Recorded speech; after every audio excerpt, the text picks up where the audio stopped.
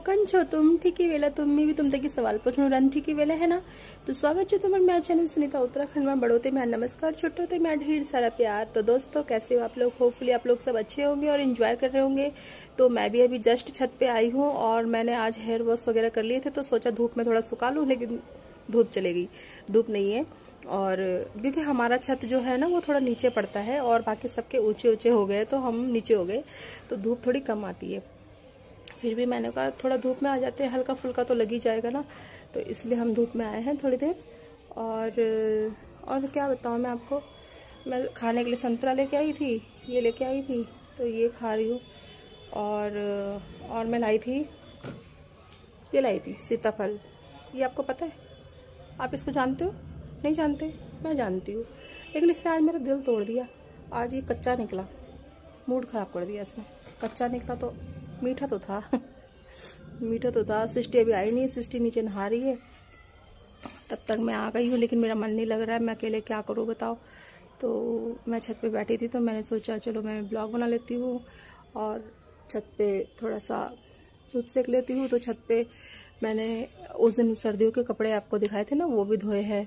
तो वो भी सूख रहे हैं और उनको भी नीचे ले जाऊँगी। उनको नीचे ले जाके, फिर उनको तय लगा के अलमारी में रख दूँगी। और आप लोग क्या कर रहे हैं आजकल? आप लोग भी धूप सेक रहे हो आजकल? तो कुर्सी में बैठ बैठ के हो रही हूँ बोर तो थोड़ा सा घूम लेती हूँ। तो हमने इधर पेड़ पौधे वगैरह कटवाए थे, थोड़ा से कटिंग वटिंग करी थी। ये देख सकते हैं आप, ये भी बेचारा सूख गया है। आजकल इस पर रौनक ही नहीं रह गई। पहले इस पर बहुत रौनक थी, अब इस पर रौनक ही नहीं रह गई। और पता है ये आम का पेड़। इसकी कंडीशन आप देख सकते हैं, इसकी हालत क्या हो गई है। इसकी हालत हमारे माली ने करी है, क्योंकि हमने एक दिन माली को बुलाया था गुड़ाई उड़ाई के लिए, और माली ने इसकी जड़ तोड़ दी। और इतना दुख हुआ, इतना दुख हुआ कि मतलब मैंने पाल पोस के इतना बड़ा करा था, लेकिन आज इसके पत्ते बिल्कुल सूख चुके हैं और मुझे बहुत दुख हो रहा है। बाकी ये दूसरा आम का पेड़ है, ये छोटा है बट ये कि चलो, कुछ तो आस बची कि कुछ तो है, बाकी ये छोटा है और उससे छोटा वाला भी है। उससे छोटा वाला ये है, उससे छोटा भी आम का पेड़ है हमारे पास। ये गुलाब की कटिंग करवाई थी तो गुलाब भी देखो पत्ते आने लगे नए पत्ते। और हमारे यहाँ से एरोप्लेन जा रहा है।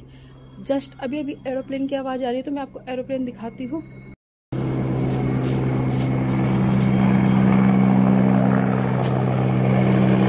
मैं कैप्चर कर रही हूँ, आप देखना।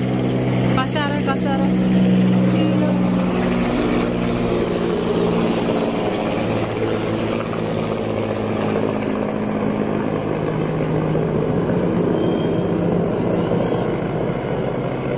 बाय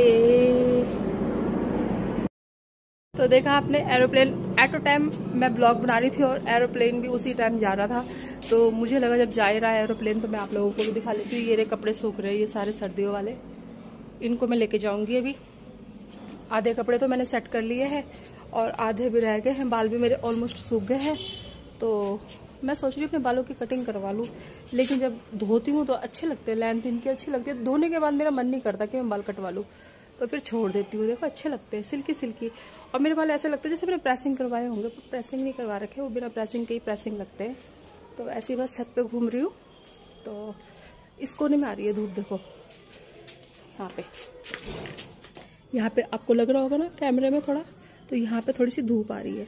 तो बालों पे थोड़ी सी धूप लग जाएगी। और आप अच्छा हाँ मैं एक चीज़ और बोल रही थी कि मैं आजकल वीडियो नहीं बना रही हूँ। उसका रीज़न ये था कि मेरी तबीयत काफ़ी ख़राब थी, काफ़ी हद तक ख़राब थी। तो मेरी दवाइयाँ चल रही थी और डॉक्टर के बहुत चक्कर लग रहे थे, जिसके कारण मैं ब्लॉग नहीं बना पा रही थी, वीडियो नहीं बना पा रही थी।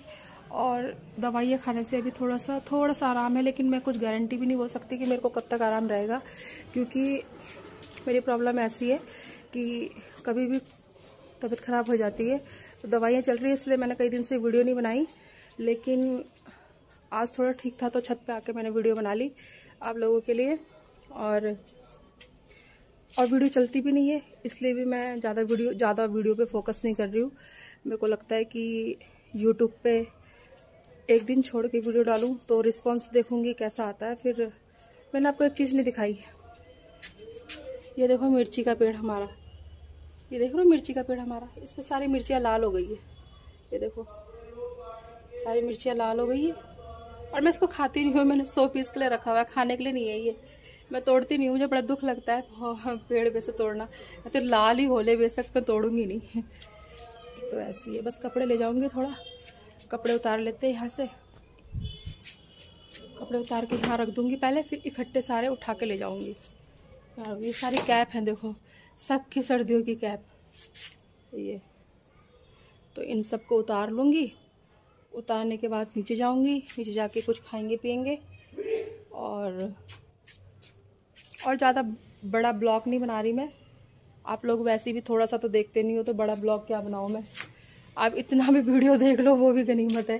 पर देख लिया करो भागा मत करो। और सबसे आ, सबसे अजीब तो मुझे तब लगता है कि मेरी वीडियो अपलोड होती है और अपलोड होके मतलब अपलोड होते ही मुझे मैसेज आता है वेरी नाइस मैं सोचती हूँ कि इन्होंने सच सचमुच देख लिया होगा जो वेरी नाइस लिख रहे हैं। तो थोड़ा सा तो देखा करो तभी तो वेरी नाइस लिखा करो। ऐसी वेरी नाइस लिख के क्या करोगे आप? है ना? तो ये वीडियो मैं यहीं पे ख़त्म कर रही हूँ। आपको ये वीडियो पसंद आई होगी तो लाइक, कमेंट और शेयर कर देना। बाय बाय, मिलते हैं नेक्स्ट ब्लॉग में जल्दी ही। बाय।